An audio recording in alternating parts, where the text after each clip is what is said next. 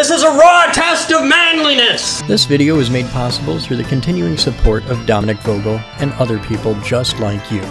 If you're interested in helping me make better videos and do a better job at getting people exploring science and engineering, check out the links below in the description and see how you can be a part of this. Thank you.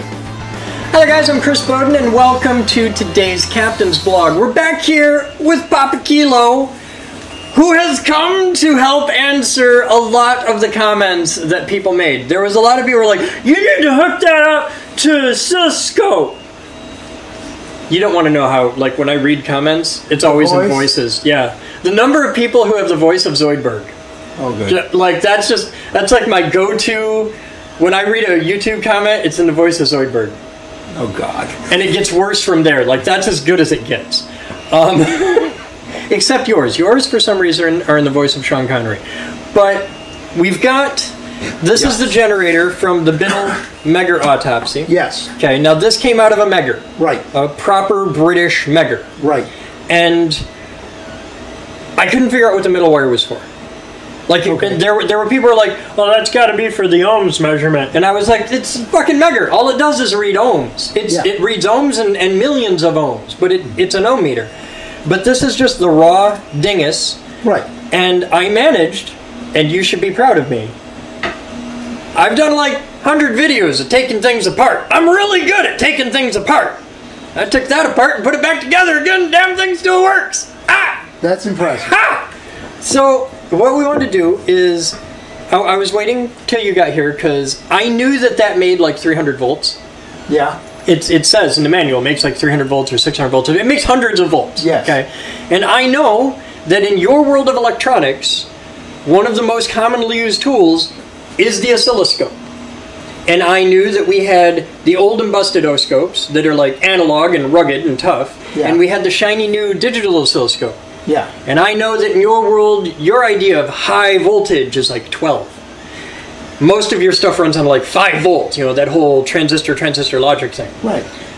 And I knew that if my dumbass took that thing and jacked it into there, I'm going to let smoke out.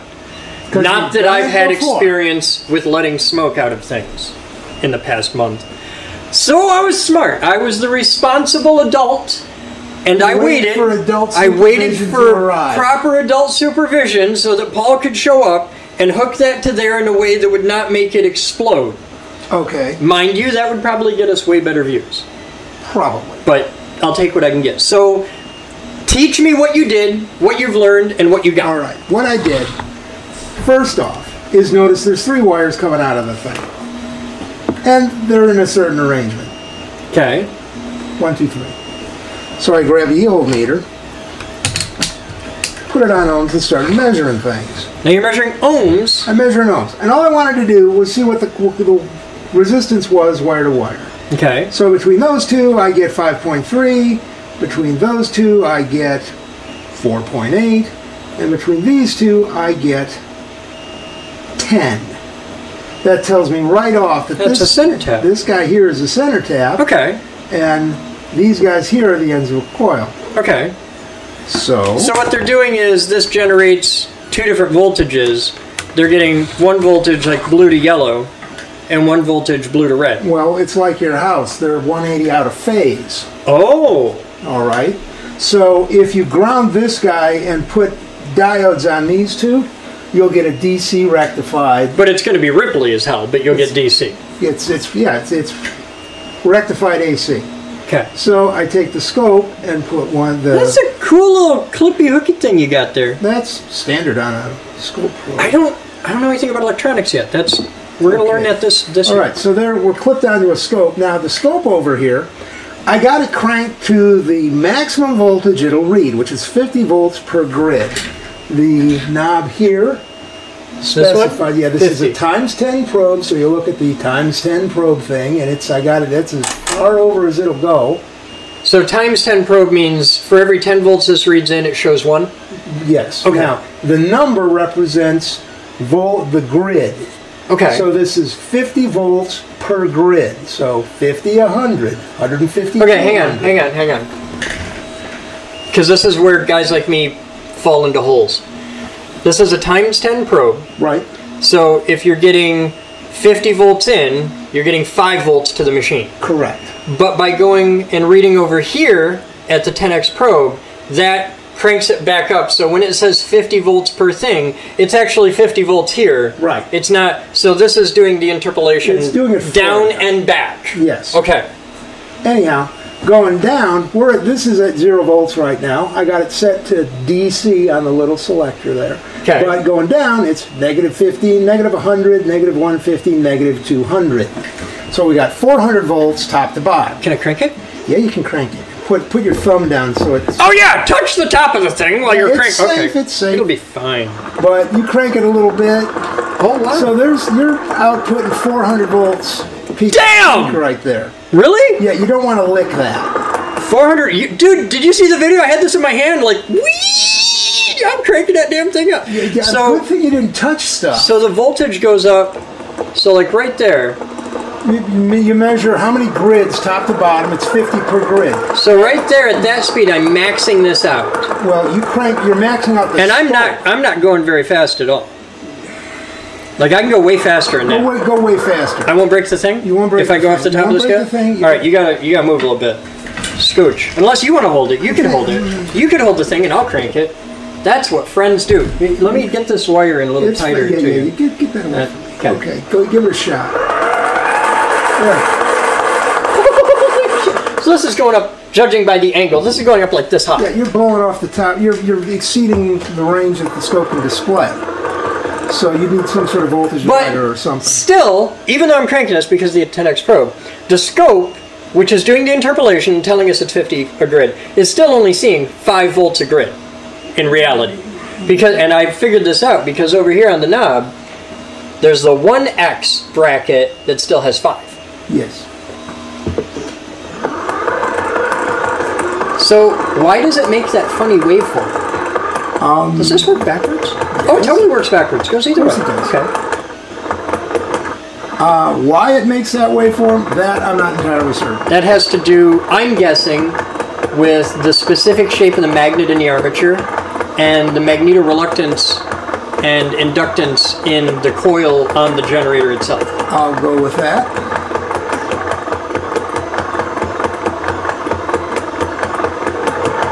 And the frequency you output is totally dependent on how fast you crank. So, can you tell me what the frequency is right there? Uh, I'd have to look at what the divisions are and how many grids you're doing. At, at your fast, it's it's looking like you're getting uh, one grid for each loop, so two grids for a full cycle. What's the knobs? I don't know. Trade me places because I got an idea. I can crank that fast, and you can make them all appear on the screen. You got to change your scan rate. I don't know what they call All it. right, the- right now, hold on. We're at five milliseconds per grid, so one wave is about one, two, three, call it three grids. It's such a pleasant, soothing sound. Call it three grids at five that? milliseconds. What's the green light over here? That's trigger. Oh, okay. All right. Three grids, five milliseconds per grid. That's 15 milliseconds for a waveform. So take 0.015 and do a 1 over x on your calculator, and that'll tell you what you got for a frequency. I got an idea. This is what I got from my frequency. Oh, there you go. Just make sure the hand and the knob don't hit the. Okay. All right. So I'm gonna crank this like hell, and you're gonna change the speed that that scans across so we can show the whole thing. I'm guessing that's as tight as you can make it in the vertical axis. Yeah, that's where like all we're, the we're way. maximated. Yeah. All right. So just bring the bring the other one in. No, you, more more lines. Oh, oh, oh, Okay, it oh! starts I get it. It starts running Okay. so slow. All right, try that then. Go the other way.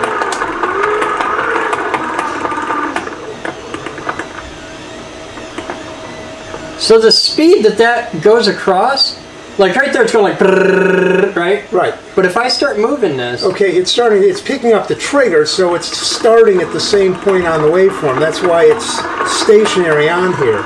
If I mess with where the trigger is, I can move it side to side. oh, that's cool. And okay, there's normal there. Why is that so tall right now?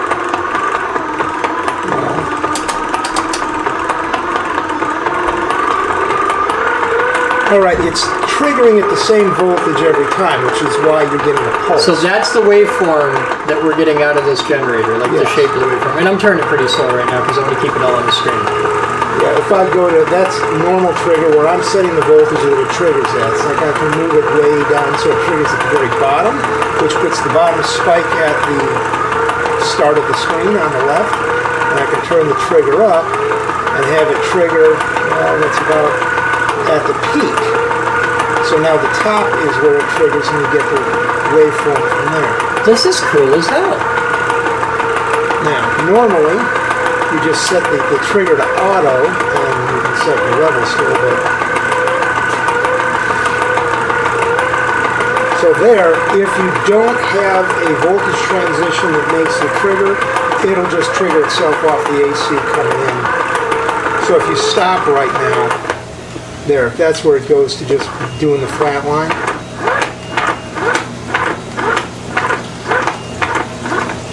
So I think the next step of this for science is that uh, we like hook that up to. I'm thinking your nipples would be a good choice. Yeah, no, So we have no way of measuring what the voltage. Could we do it with a voltmeter? Would my voltmeter measure that? Or is because the frequency is so screwy, I don't know if that's going to take it. It's an RMS voltmeter. We should be able to get it. The thing is, you'd need to consistently spin at a constant rate because if you're going faster and slower, you're going to get higher. Let's give it a shot and see what we can get. I just don't want to screw up my meter. That's that's my only concern. As long as we don't break my meter, like that's got to be good for 600 volts. I've used it for 480 a million times. Mm, it says 1,000. Well, as long as you're holding the leads, I think that's a great idea. Okay, I have a couple of quick leads here that I was playing with earlier.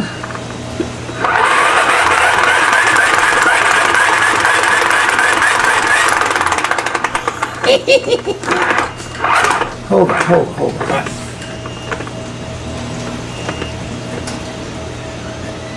You want to see if we can make it dark? I'm to bet you can. There, that's pretty close. Yeah. hold on. Anything over 300 volts will get the breakdown voltage of air, but you gotta you gotta be really close for an air breakdown at 300 volts. Well, you're doing more than 300. I ain't seeing Hey, not a damn thing. All right. Let's, the, let's amount just. of, the amount of current you get out of this is very, very Oh yeah, low. it's going to be trivial for current. It's just it's got a, a pretty good kick to it. Okay, there's one side. But we can charge a Cockcroft Walton with this and make like a hand crank uh, Marx bank, which would be kind of cool because that would work. All right, you ready? Right now, hold on. We need to go to AC volts, and I'm going to kick the range to manual so we're not out of range. So just at a leisurely pace, I'm doing 150 volts. Yeah, So that's wall voltage right there, just at a, a gentle pace. yeah.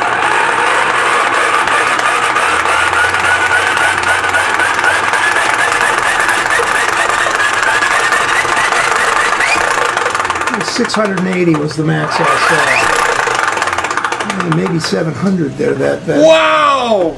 It's hard because the handle, like, Well, that that's to lock. the yeah, handle. well, it, it, it's for folding it.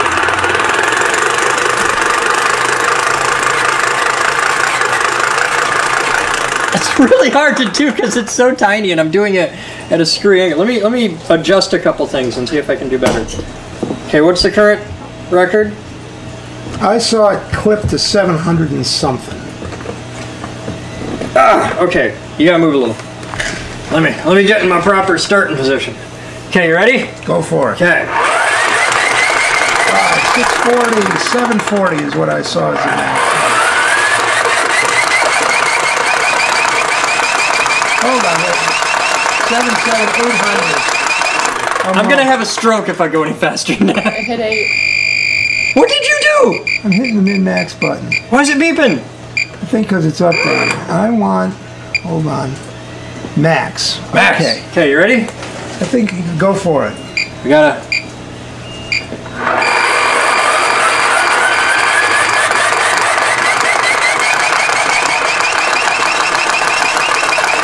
Oh, can I get the guy? You need more? 823. You can do it. Come on.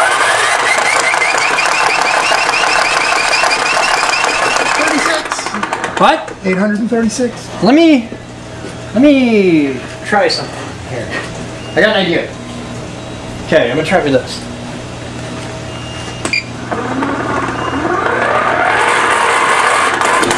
That's a stupid Okay. idea. Okay. Yeah, you only hit about 760 there.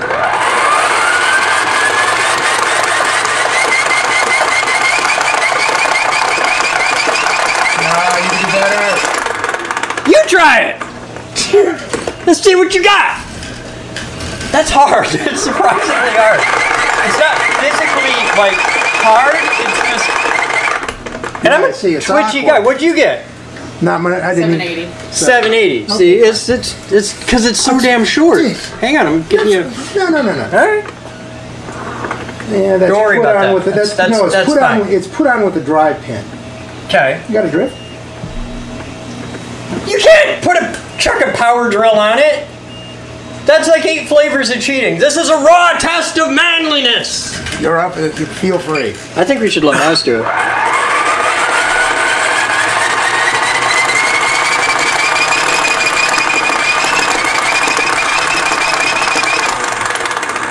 Don't forget to go to that Yeah.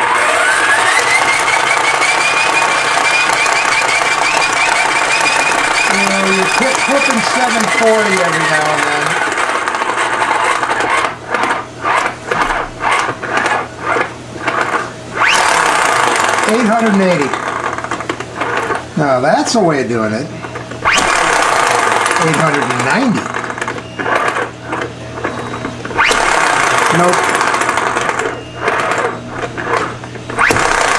Nope, you can, you can, the sound is different when you get it good. Yeah, 895 is the best you've gotten. 907.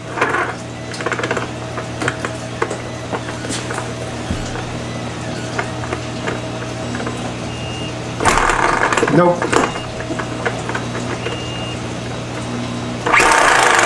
Nope.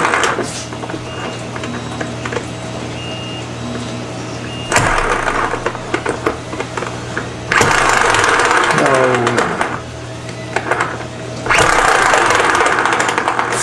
Right idea, but we're not getting there.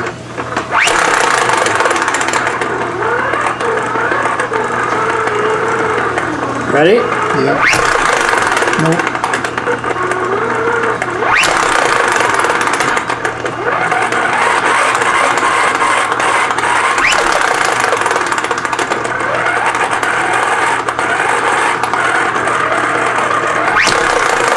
I don't think you've been clipping So nine, 700. 907 is about is our you got? record. Yes. Okay. But we got 907 volts on a little hand crank generator, so like that. I don't. I don't think anybody on the internet's going to be impressed by this at all. but you should try this. Take the Biddle Megger challenge here. So we did it. We learned a waveform. We Yes, we did. we explored things. We now know that the little thing that I thought put out like, because the manual says like here three or six hundred volts, something like Right. that. And we get nine hundred Well, volts out of that thing. In all probability, they halfway rectify the thing, so the voltage is cut in half. Oh yeah, there's. You can see in the video they got a, a little circuit board, and there's there's very clearly a couple diodes on it. Where'd the circuit card go? Hmm. The reason That was like a week ago, man. I've cleaned since then. I saved the really cool stuff, like like this. I saved that. I don't know what I'm gonna do with it, but it's too cool to throw away. But as far as where the dopey circuit board is for that, hell, I don't. That's right, break it. This is why we can't have nice things. But because of that, I'm not in the emergency room. Because, see, when I was younger and not quite as smart and didn't have nearly as many scars, something like that would happen and I'd go, ah! And that's how you get a concussion, because the first thing goes, you go, ah, and you die for it. And then you contact right here, and then you wake up there with, like, Paul going, hey, stupid! Hey! You alright? And just, no. Because I've never, never had experiences like that. And it's fine. Look, it's totally, everything's just, ah! No, everything. That was gratuitous. Yeah, I know. It just needed to be done. That's a different guy. He makes that. That's an ElectroBOOM. Yes. If this, if this ain't an electro He's boom. actually an engineer. Yeah, he's a wicked smart guy. He puts a lot of work into suffering like that. And I've seen some of his stuff where I'm like, that's not fake. That actually hurts. Yes. Like he he knew going in this is going to hurt, and he still did it. And I'm just like, I got got nothing but respect for you because it's he makes good videos and they're hard. for the record, we hurt ourselves almost as much. We just don't do it intentionally and premeditated and have any of the safety precautions. And We just- sometimes don't notice that we've injured ourselves. there is that. Look at this. Paul's Paul's got a hole in his arm. I, I and this is after I patched that up. The black might actually be. Um, D- d- I think No. I think that's your Let it, pestis. let it let it heal. Okay. Heal at your age, like that's gonna happen. Another scar. You don't have time to buy cream bananas. You guys have fun. I want to thank everybody for hanging out today and learning a little bit about this. And yeah, that's what we got. This wraps up the series on the Biddle Megger autopsy. I like to get a little follow-up video and got to go into more detail on that. You guys have fun. If you like this video, Send I in don't- diodes I- and we'll do this. We'll have diodes. It'll be okay. But if you like this kind of stuff, the insanity that Paul and I do around here, check out the links below in the description. We have a Discord, and you and all of your weirdo friends are invited to come hang out and explore science and engineering, or just, you know, Engineering? bullshit. En- engineering, nerd, nerd. I can Yeah. say penguin. Shut up. So, if you like this kind of thing, check out the links below in the description. Get involved. And until then, as always, we'll see you next time.